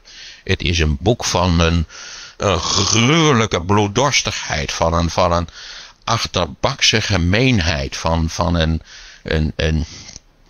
Is het christendom niet het geloof van, van de vergiffenis en, en, en van liefde? Nou, moet u het Oude Testament lezen. Hè? En dan hebben die, de, de, die Joden hebben dan het uitverkoren volk, heeft al zo'n dorpje onder de voet gelopen. En dan eh, hebben ze alle mannen vermoord. Dat was de normaalste zaak van de wereld in die tijd.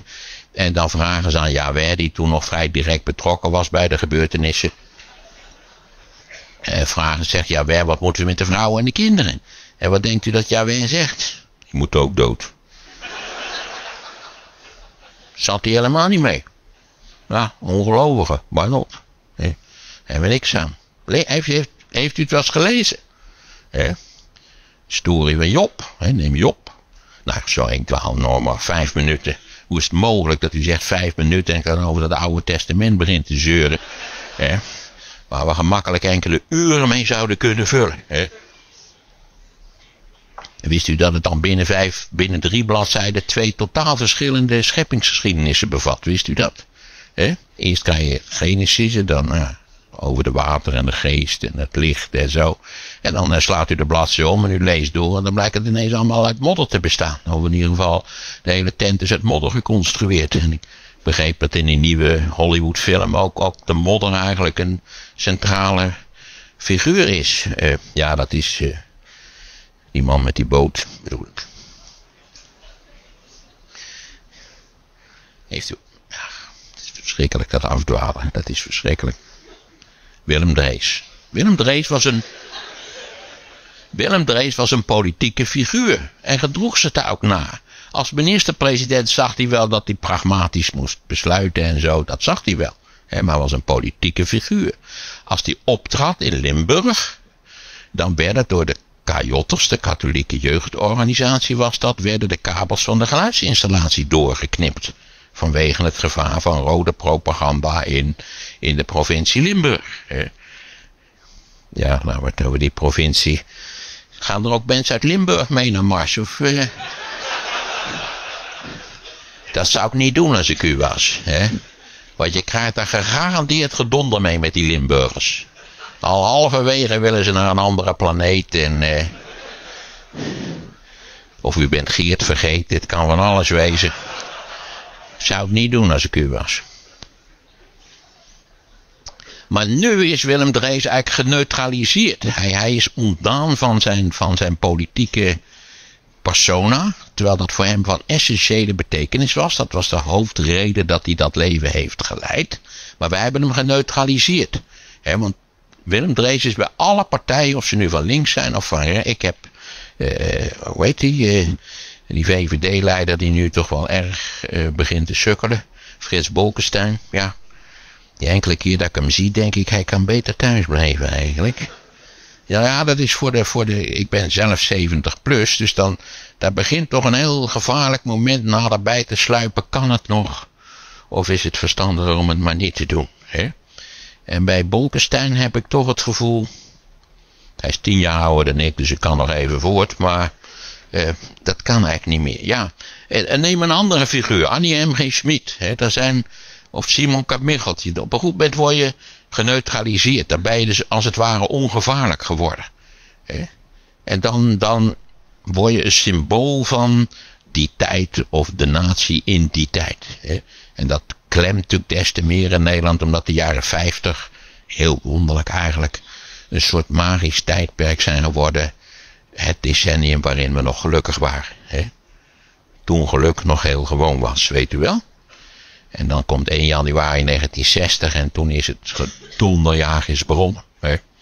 Met die immigranten en, en ja, u weet dat we in de jaren 50 natuurlijk maar één neger in Nederland hadden. Eén allochtoon was er toen. Dat was Donald Jones. En daar hadden we een deal mee gemaakt. Je mag blijven. Maar dan moet je één keer per maand een liedje zingen in pension Rommelus. En dat heeft hij gedaan. En, en nu is onze, ja, wat is er overgebleven van de Nederlandse natie? Wat, wat, hè, aangetast door allerlei wonderlijke vreemde elementen. Eh, ik heb het u gevraagd, u heeft zelf gezegd, u staat niet op als het volkslied klinkt. Eh, er zitten hier nog twee lui die de vlag eh, omhoog kunnen krijgen. Het, heeft voor u eigenlijk alle, alle, betekenis, alle betekenis. U, u, voelt geen warm gevoel als u daarbij uh, boven Antwerpen de grens overkomt. Denkt, ah, eindelijk thuis. Hè? Dat is het gekke bij mij. Ik ben, ik ben zo op het eerste gezicht ben ik helemaal geen nationalist. Werkelijk het tegendeel. Sterker nog, ik hoop dat we de eerste wedstrijd in Brazilië zo definitief verliezen. Dat we bij algemeen besluit meteen naar huis gestuurd worden. Al was het maar om verschoond te blijven van dat wezenloze lul over het Nederlandse voetbal. Ik moet u zeggen, ja, ik weet niet, ook die Niki Terpstra, hè. Heeft u dat nou een beetje gevolgd? Zonder dat je, je zet er helemaal niet voor aan. Helemaal niet. En je leest de krant ook niet. Maar hoe, hoe, ja, die man zijn beroep is wielrenner. Hè? En hij heeft lekker doorgetrapt en zodoende heeft hij gewonnen. Maar als je de krant leest of naar de televisie kijkt, dan lijkt het wel of de Heer Jezus naar beneden is afgedaald om, om over die kasseien te gaan razen namens de Nederlandse natie. Hè? Wat een onzin, wat een, wat een flauwekul. En wie was ook alweer trots als we gingen winnen bij het voetbal? Was u ook trots op Nicky Terpstra? U heeft een traantje weggepinkt, hè?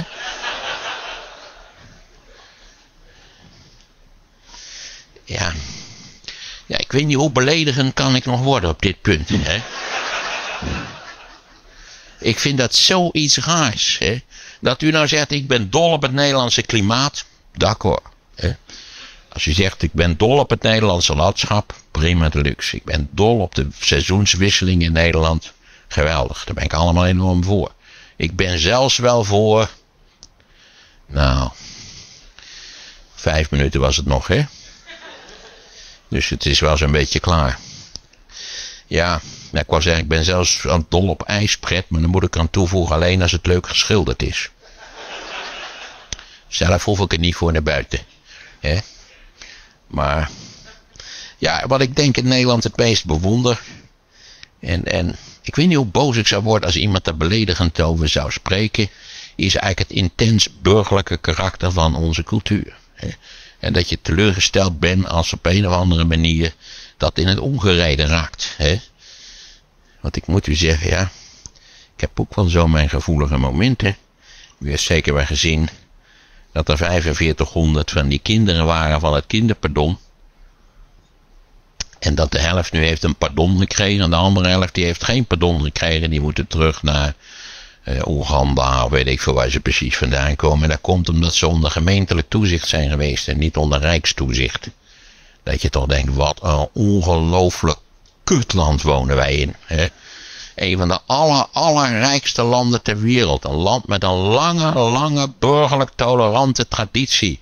En we gaan 1500 van die kindertjes, die gaan we terugsturen, omdat ze onder gemeentetoezicht hebben gestaan. Hè? Dat vind ik nou erg. Daar kan ik me nou Schaamt u zich dan niet voor Nederland, hè? Ondanks die Tinky Terpstra, hè? Waarom heeft hij niet een van die kindertjes mee achterop genomen, hè? Die had natuurlijk wel mogen blijven dan als je op die, die filebaan of een hele kar vol met die kindertjes wat mij betreft. Had hij wat mij betreft ook mogen verliezen. Ik had hem liever binnen zien komen een kar vol van die kindertjes die het Wilhelmus zongen achter zijn fiets.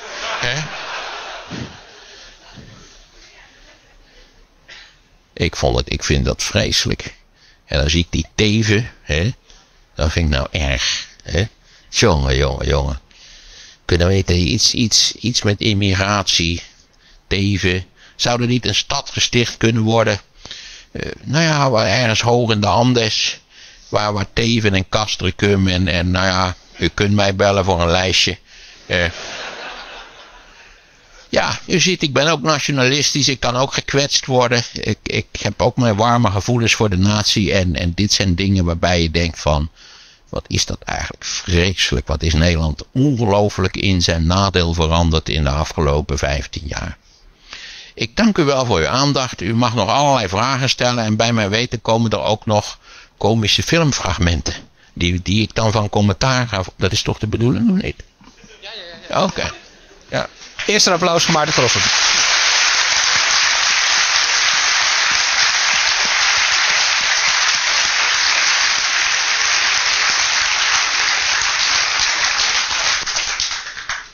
Mag ik het scherm even eh, tevoorschijn?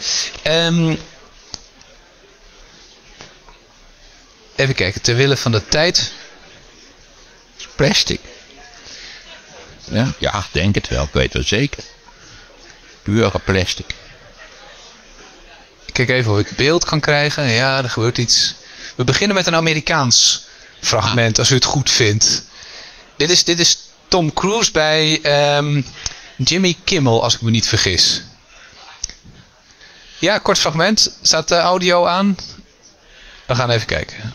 Die Tom, Tom Cruise is sowieso zo gek als In een deur. Iceland and in space, correct? Yes. Yes. Yes. It's really good. I saw it. No green Yeah. screen at all. no green No, screen. but there actually, when the audience sees it, there's actually isn't a lot of green screen. From what we shot in Iceland, we shot in mountains in New York, in California, in New York City. It looks. It came out Not really the mountains in good. New York City. Just Did you like Iceland? Loved it. You did. It was amazing. Has anyone been to Iceland here? No, none of us ever know anyone. what? No, one Oh, said, "Yeah." no, no It was liars amazing. The even. sun never set when we were there, so we would shoot all day and then kind of go on. It. Because you were there. It's amazing. These cruises are and you know, it's unbelievable. like we bring the sunshine. Out of oh, respect, the sour rain off for you. Did you do any of your um, dangerous things that you do when you you're on vacation? you must be uninsurable. Yeah, I, we did do a little fun. What'd you do? You know, you really want to know? Yeah, I want to know. Well, went uh, snowmobiling on a glacier. Okay. That was easy. Other. Repelled into a volcano. really? yeah. into the mountain. Yeah. You were supposed to go out I into the know, I know, not I, into them. I know, but it, it was cool. I bet. Yeah. Into a volcano. A volcano. Wow, that is just ridiculous. Beautiful country. We couldn't be more different. Yeah. you don't want to come on vacation with me? No, no. but if anything happens, God forbid, I know a guy who can get you titanium parts for your mom. He's right there. He's the best. Let me be right there. John Cruise will be right back. Goed, dit Nou, is... dat sprak wel voor zichzelf, lijkt me. Hè? Ja, daar werd dus voortdurend gelachen over niks. 0,0. U weet ook waarom er zo hard gelachen wordt. Omdat er iemand dat in het publiek staat met een enorm bord dat er gelachen moet worden. Hè? Weet u dat ze voor televisieuitzendingen uitgebreide oefenexercitie hebben om mensen zo hard mogelijk te laten applaudisseren en zo hard mogelijk te laten lachen. En dat zo'n opjuiner die dat, dat werk doet, die, die zegt dan ook na twee keer van nee, dit moet echt, daar moet u heel hard moet u erin leggen. Hè? Ja, dus dan weet u zo'n beetje waarom er schijnbaar zoveel enthousiasme is. Of ze hebben de, nee, dit zal wel live zijn, Jimmy Fallon, dus dat, dat, ze kunnen er geen lachbandje achter plakken. Hè? Ja, ik vind bovendien Tom Cruise wel een onbeschrijfelijke hoedlul. Hè? U weet dat het ook zo'n man van de Scientology is, dus dan eigenlijk zie je ook een soort orthodoxe gek. Hè? Want dat is het. Voor compleet geschift is die jongen. Hè? Heeft u hem gezien toen mij bij, eh, bij Oprah over dat gedans over die bank vanwege die verloofde die al lang weer kwijt is? Hè? Nou ja. Ik heb sowieso niks met filmsterren. Zullen wij een stukje eh, Europese humor, vooral Engelse humor kijken? Even kijken. Voor Towers. Ja. Ja. Dit is een klassieker. De Don't Mention the War scène.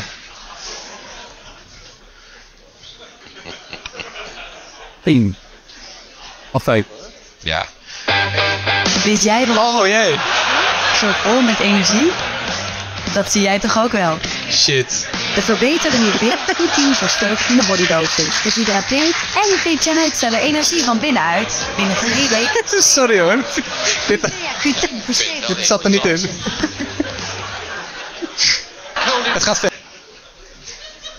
Ik zag u erg hard lachen. Ja, ik vind dit, eh, dit is fantastisch. Dit heb ik in mijn leven denk ik al 30 keer gezien of zo. En toch moet je er enorm om lachen. En het sterkste van Fawlty Towers is natuurlijk wel dat ze 20 van die afleveringen hebben gemaakt en er niet eindeloos mee door zijn gegaan. Hè? Zoals met die verschrikkelijke Beef Breaking Bad goed. Hoe is het toch mogelijk? ik heb ernaar gekeken. Ik heb zelden in mijn leven iets gezien wat zo stront vervelend was als Breaking Bad. Ik denk, nou de volgende aflevering, dan, dan, dan zal er wel iets gebeuren. Eh, ik vond het verschrikkelijk. En dan lees je in de krant, dat is de Tolstoy van de televisie. Daar kun je nog beter journaal kijken, echt waar. Wat, maar dit is echt enorm. En dat ze ermee gestopt zijn. Niet waar nadat ze twintig van die magnifieke afleveringen hadden gemaakt. Dat vind ik ook echt, zie je, zie. Hè, dus dat je het niet laat verwateren en, en weg laat lopen. Om er maar een schep geld aan te verdienen. Het is, het is een. eh, maar het is natuurlijk ook wel. die lui van eh, eh, zij schreven dat samen. Hè? Dus die, die mevrouw die je net zag, die, die hulpkracht, zou ik maar zeggen. En hoe heet je ook alweer? John Cleese. Ja, eh, John Cleese. Overigens is hij later in, in psychiatrische eh, behandeling gegaan. En daarna heeft hij nooit meer iets geestigs gedaan. Hè, dat geeft wel te denken natuurlijk. Nou ja, dat is, heb ik eigenlijk helemaal vergeten te vermelden. Dat humor ook iets te maken heeft met. Er moet een soort, soort bozigheid in je schuilen. Want anders, je moet het ook fijn vinden om mensen op de hak te nemen. En eventueel eens tegen hun schenen te schoppen. En ik denk ook, misschien is dat ook een van de grote tekortkomingen van de populaire Amerikaanse cultuur. Dat er geen besef is van, van tragiek en van de, van de noodlottigheid van het leven. Dat we allemaal doodgaan en dat het onwaarschijnlijk is dat we allemaal gelukkig getrouwd zijn. En dat er ook klote kinderen zijn. En nou ja, dat, dat, dat, dat het leven dimensies heeft die niets te maken hebben met die, met die trut van Nivea. Wat, want daar ziet u een voorbeeld van, van, van verschrikkelijkheid. Alles is daar verschrikkelijk aan. De manier waarop ze over de been wrijft. Waarop ze op die stomme platte buik slaat te slaan. Dat je denkt, doe daar wat vet bij en dan kletst het lekker. Hè?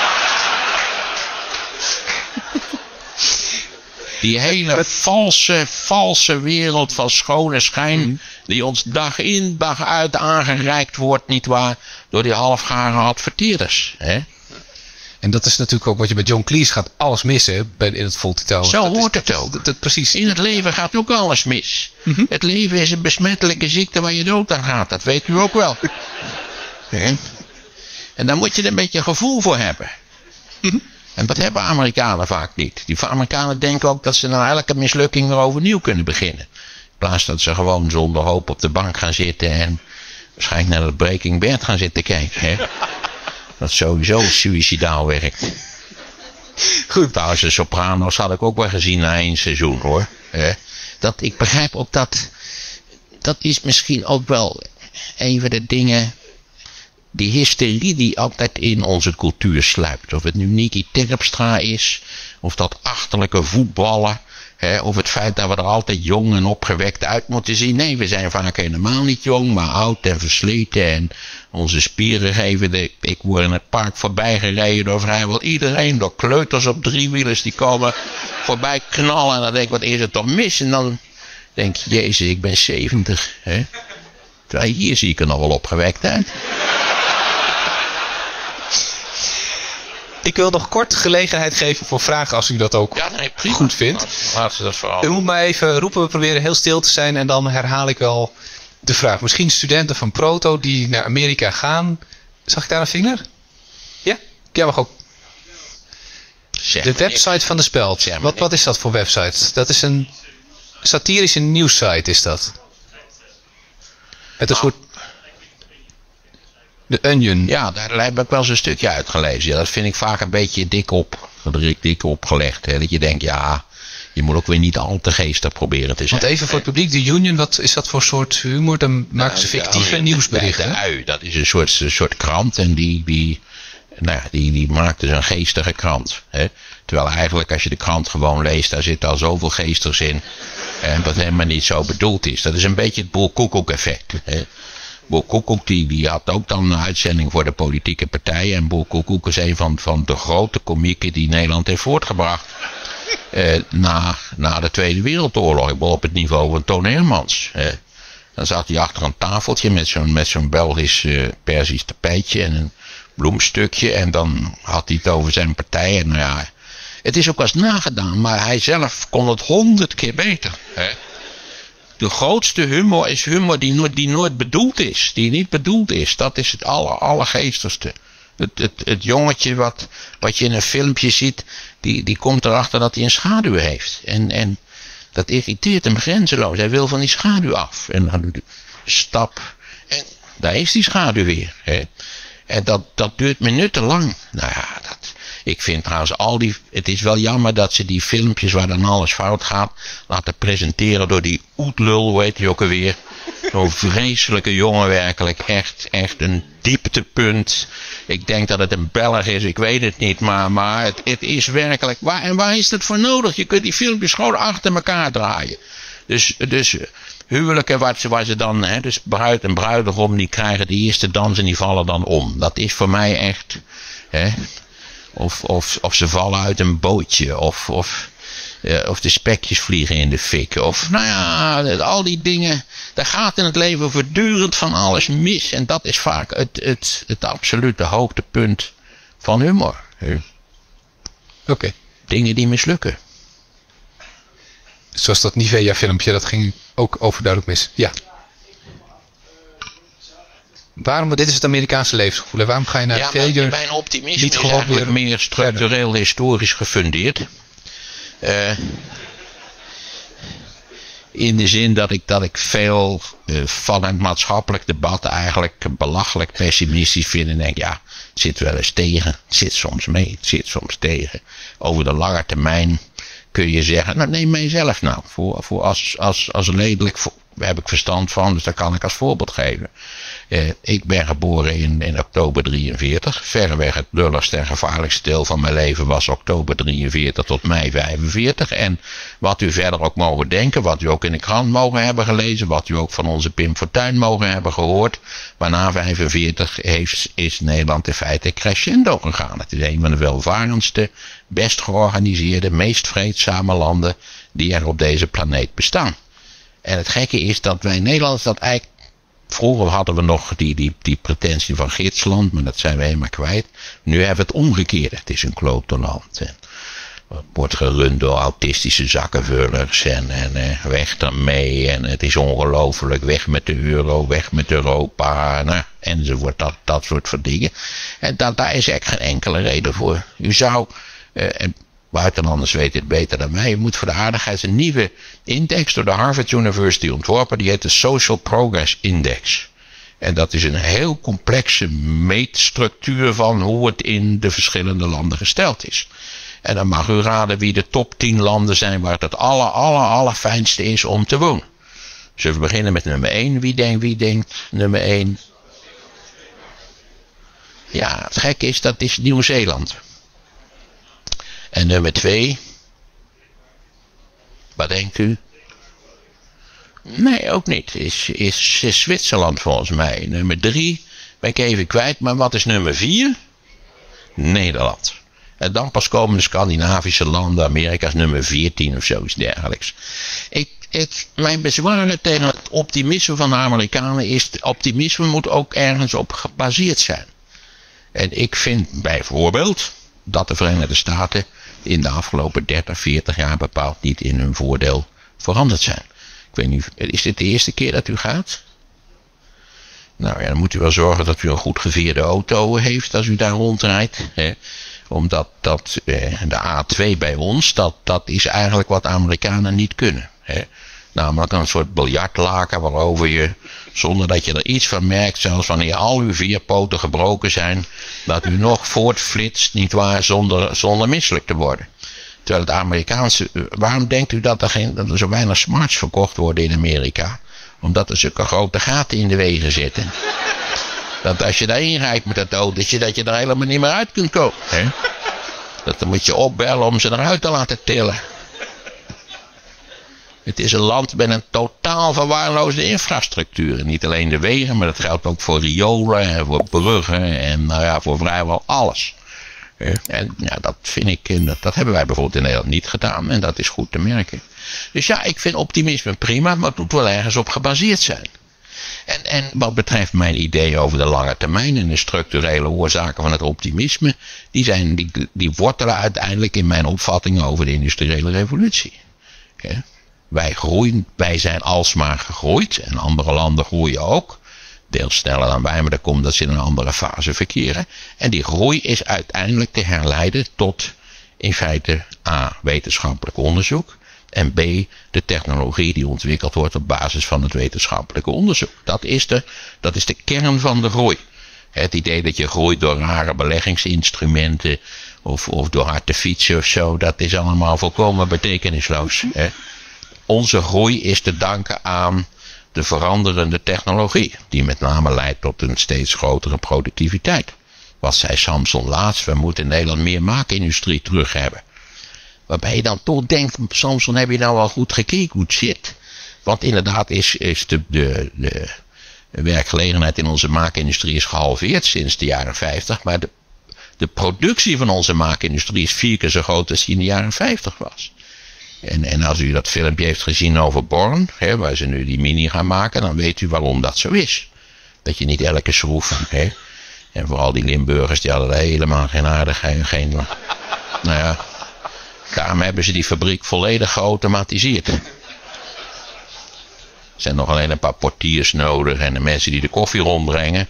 Nou, voor de rest eh, wordt het allemaal geautomatiseerd gedaan. Eh, bij wijze van spreken, u zou eens moeten gaan kijken. Eh, maar het productieproces verandert nog steeds. U, u bent hier allemaal van een technische universiteit. In plaats van dat u, dat u daar zo'n kletslezing van mij kunt, komt luisteren, zou u eigenlijk vast een artikeltje moeten schrijven over hoe het nog beter kan allemaal. Hè? En of u dat, ja. In Amerika zijn natuurlijk sommige dingen wel. Gaat zeker te lang duren. We gaan naar de laatste vraag. Wat? We gaan naar de laatste vraag als u het goed vindt. Ja. Oeh, wat zou u graag in Amerika en in Nederland verbeterd zien? nou, ik, ik, denk dat de Amerikanen er enorm verstandig aan zouden doen om eens te kijken in die Social Progress Index, die ze dus uh, een van de Harvard professor heeft gemaakt, uh, uh, hoe het beter kan. Ik denk zelf eigenlijk dat de meeste West-Europese landen, Scandinavische landen, Nederland, dat die in allerlei opzichten een aantrekkelijker maatschappijmodel hebben ontwikkeld dan de Verenigde Staten hebben gedaan. En, en een van de van de lamentabele aspecten van mijn, van mijn eigen geschiedenis en van mijn generatie is natuurlijk dat wij opgegroeid zijn met een aanhoudende trommelvuur van propaganda over dat de Amerikanen alles beter konden en sneller konden. En nou, ik weet al niet wat. Terwijl ik kan u hele lijsten geven van dingen die ze helemaal niet kunnen. Hè. Dat ga ik nog niet doen, maar, maar eh, dat, dat is zeer wel mogelijk. Ik, de vraag is, wat zouden wij moeten doen? Eh, wij zouden een voorbeeld moeten nemen aan de Amerikaanse Unie.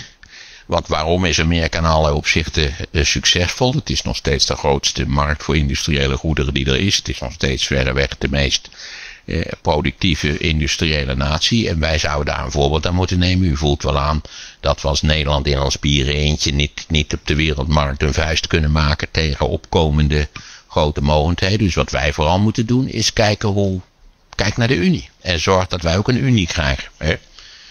In plaats van uit de euro en, en uit de EU en, en, en dan eigenlijk van Nederland een soort reusachtig waddeneiland maken. Hè? Dat is eigenlijk de grote ambitie van de populisten. Dat we ook, u weet, dat was vroeger meneer Pieter Lacour in de 17e eeuw. Die heeft voorgesteld, ja, wat had je nou eigenlijk aan Nederland buiten de randstand? Nou, niks, zei hij. Dus het beste kon je een gracht graven. Zo'n beetje door de Gelderse Vallei naar beneden, naar de Lek. En dan meteen rechtsaf eigenlijk, en richting Rotterdam. En, en de hele rest, dat, dat konden we dan eh, aan de bisschop van Münster cadeau doen of zo. Of, dat was ter beschikking aan liefhebbers, zal ik maar even zeggen. Dat was Pieter Lacour. En, en die heb ik een beetje het gevoel dat veel van die populisten diezelfde dromen hebben. Alleen misschien, ja, eh, dat nu dan die gracht helemaal langs de Nederlandse oostgrens. Maar als je ook een gracht moet graven met, met inkluis Limburg. Dus ik zou tot boven Limburg meteen rechtsaf gaan. En wat er dan blijft steken in Limburg kan mee met die Mars-expeditie. Dames en heren, ik, uh, ik wens de, de, mensen die naar Mars gaan en de Limburgers erg veel uh, sterkte. Ik, ik wil Maarten van Rossum ongelooflijk uh, danken voor zijn integrerende verhaal vanavond. Amerikanen snappen ironie niet. Ik weet niet, zijn er Amerikaanse mensen in de zaal op dit moment? Amerikaanse mensen? Amerika dat ook een... Pardon. Amerika.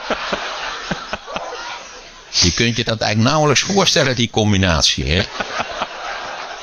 Goed zo. Ik, eh, ik ga Maarten van Rossum bedanken. Maarten van Rossum, heel hartelijk dank.